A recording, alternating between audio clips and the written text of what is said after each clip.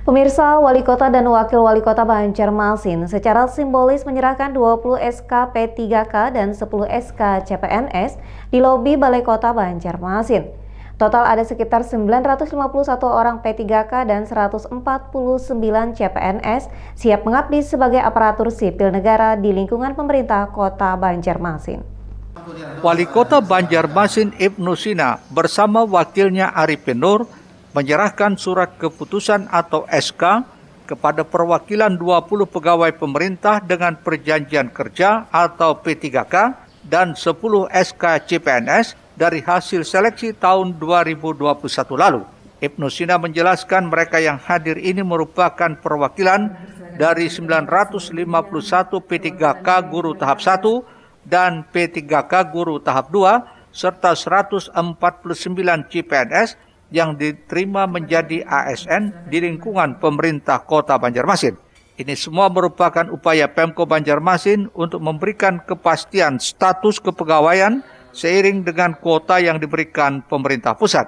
Ibnu meminta kepada para aparatur sipil negara yang telah menerima SK ini bisa amanah menjalankan tugas yang diberikan.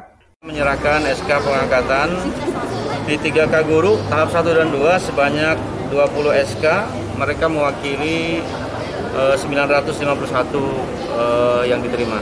Kemudian lagi untuk SK CPNS uh, 10 orang yang hadir, mereka mewakili 149 uh, CPNS yang sudah diterima dan alhamdulillah SK-nya diserahkan hari ini.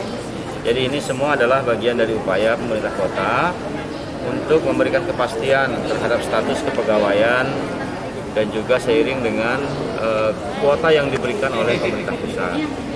Sehingga dalam uh, proses ini kita sesungguhnya mengusulkan 1.339 formasi.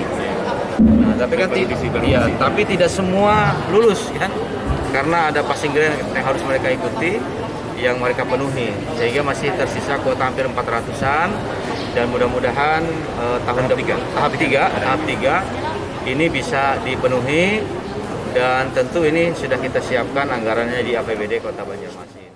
Sementara itu salah satu guru penerima SKP 3K mengaku sangat bersyukur dan bahagia dengan telah diterimanya SK ini karena hampir satu tahun menunggu kejelasan sebagai pegawai. Dengan telah diterimanya SK tersebut, ia pun bertekad akan fokus terhadap tugas yang selama ini telah dijalankannya, yakni sebagai pendidik atau guru. Uh, syukur alhamdulillah uh, selama hampir satu tahun ya perjuangan kita setelah uh, ikuti tes kemarin tahun 2021 di awal April 2022 ini sudah diserahkan SK P3K guru Pemko Kota Banjarmasin.